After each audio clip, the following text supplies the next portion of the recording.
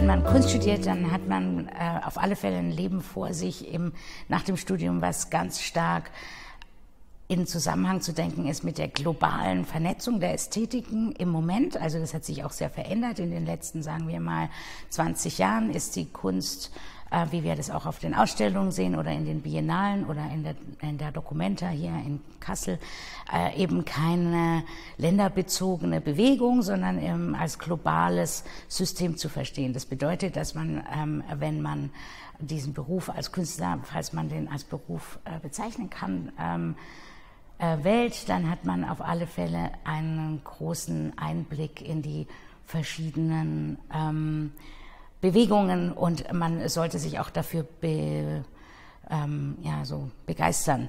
Und diese äh, Kategorie Künstler ist keine Berufsbezeichnung wie jetzt vielleicht Architekt oder ähm, Schauspieler, die sich so klar definieren lässt, äh, sondern sie hat eben was ganz wenig festgeschriebenes. Das heißt, wir ähm, in dem Zusammenhang mit Kunst entwickeln auch immer Entwürfe, wie Künstler in der heutigen Zeit ähm, zum, zur Gesellschaft zurücksprechen können. Das klingt zwar kompliziert, ist aber eigentlich eine sehr interessante Auseinandersetzung, weil sie eben einen auch nicht festlegt auf bestimmte Rollen, beziehungsweise ähm, das Künstlerklischee des 19. Jahrhunderts oder des Genies glauben wir zumindest überwunden zu haben zugunsten einer aktiven Auseinandersetzung Auseinandersetzung mit der Welt ähm, der Kunst, die im Alltag und in dem direkten Erleben ähm, der Gesellschaft und im Austausch ähm, stattfindet. Und das ist eben sehr besonders.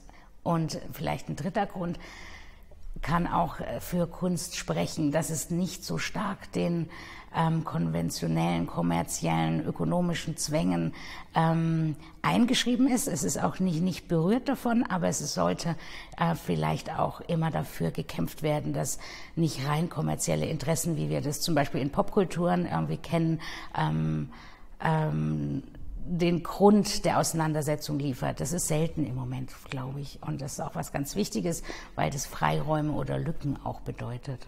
Und das ist für mich sehr ähm, wertvoll, sich ähm, ja, in dem Zusammenhang der Kunst zu widmen.